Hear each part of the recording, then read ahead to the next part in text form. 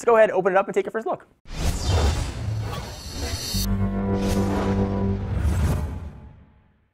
So here is the box for the Nokia X. It's teeny, it's tiny, as is the phone itself. All kinds of specs written on it, but we don't need to worry about that because I will tell you all about them. So don't judge this phone by the super phone specs, the HTC ones and the Galaxy S5s of the world. This is under 200 bucks off contract. You can probably find it for about 120 depending on where you look. Uh, so it offers a lot in sort of a teeny tiny little package. Uh, and it's running Android, which is, seems crazy to me. So pull that one off. I have not had a chance to see this phone yet or even check out what Nokia's skinned version of Android looks like. So uh, out of the box, you don't have support for Google Play, but it's Android. You can sideload the suckers on pretty easily. Here is the phone, and it feels like a Lumia device. It's got that sort of nice um, plastic build to it, though it does feel certainly a little bit on the hollower side uh, than perhaps we've seen with other Lumia phones. Push out to the side for a quick second and see what else we're going to have inside of the box. We've got a cardboard thing, got some Nokia X things in language I can't understand. We've got a pair of headphones with the inline mic on it, and they are red. Uh, we've got a charger, which connects to micro USB. And we've got a battery. So that's probably why it felt hollow, because uh, the battery was in there. I'm used to Nokia um, just doing built-in batteries. So let's go ahead and pop the battery uh, into this guy and turn on the phone.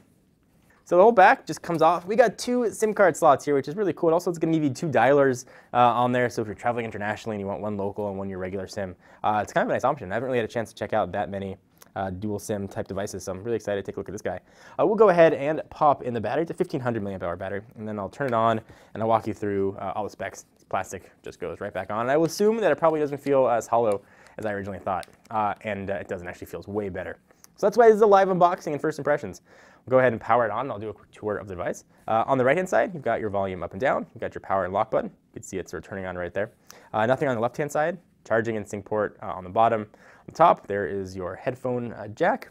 And we've got a camera on the back, which is 3 megapixel, but you'll notice what it's missing is a camera on the front. Uh, so it's a 4-inch display right here, uh, which means it's 800 by 480. Uh, it's got a 233 ppi, and there's Nokia's familiar ringtone. Uh, it's an IPS LCD in case you're wondering. Uh, being powered by a 1 gigahertz Snapdragon dual-core processor, 512 megabytes of RAM, uh, and 4 gigs of storage. Sort of, I guess you would say modern specs for early 2013. Uh, 4 gigs of storage inside of it. It does have external storage options though, uh, micro SD up to uh, 32 gigabytes. Um, no NFC here at all, unfortunately, but uh, you know, kind of what do you expect? We'll go ahead and go continue and go through the whole setup process and see what it looks like. All right, so we got this guy all powered on. Let me pull off the plastic here and get that whooshing noise, hopefully that I love. Boom. There we go. So you've got one button here. You don't have sort of the three typical Android buttons. I want to give this folder a name, but I don't want to give that folder a name. It will forever remain nameless. Uh, so it looks sort of similar to Windows Phone. You got kind of a tile-esque interface. You just keep scrolling down. Uh, you can see where all of your apps are going to live. You don't have sort of an app tray.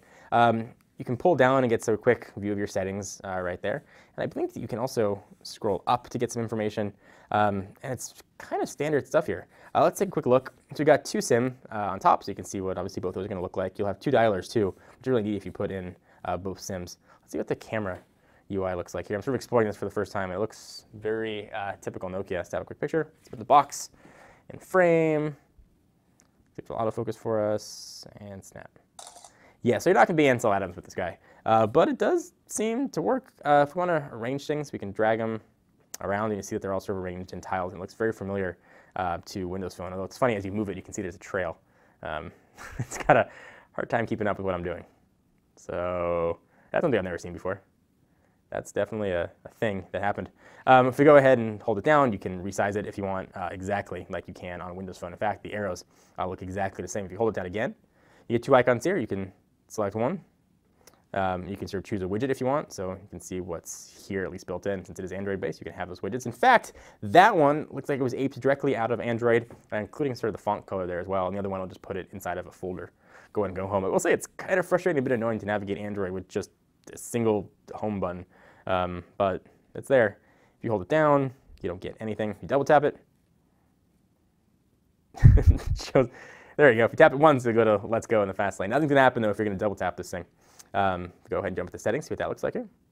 Uh, this looks like very typical Android, which is very still strange to see uh, on a Nokia device. I go into About Phone.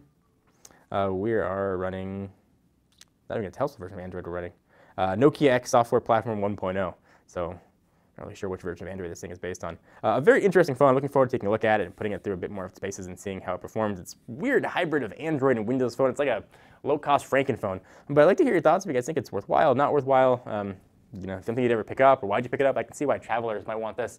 Um, but leave your comments right down below. But in a world of very crowded Android phones and a lot of good low-cost Android options, not sure why this would be the right one to get. If you pull down, you can also do a search I just discovered. So that's kind of neat.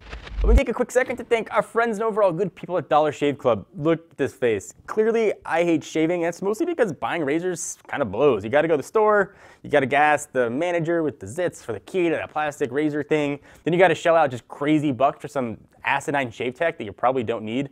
My razor honestly worked fine before it got a vibrating hand and a laser pointer, although Lucy does love laser pointer razors. But fortunately though, there is a company that's doing away with all of that silliness and getting down to what matters. For really just a few bucks a month, Dollar Shave Club ships pretty awesome quality razors and other bathroom goodies right to your door, and their blades are just as good as other big shave companies at a fraction of the price, which is good on your wallet and your face. Uh, they've got things like Dr. Carver's Easy Shave Butter to make your shave even more buttery smooth, appropriately for the name. And you also gotta try One Wipe Charlie's, the new peppermint infused wipes for men. Listen, we all do it. This way you'll come out of it feeling all fresh and smiley. Shave time, shave money. Join Dollar Shave Club now. Go to dollarshaveclub.com slash technobuffalo. Now back to the video. So what do you guys think of the Nokia X? Is it your next phone? It's got a lot packed into a very low price and it's kind of a nice form factor. It still seems weird to have Android running on Nokia, but I guess stranger things have happened. Hope to hear your thoughts on it. Leave the comments right down below. Until next time, I'm Jon Rettinger from Techno Buffalo. See you guys next video. Bye-bye. Oh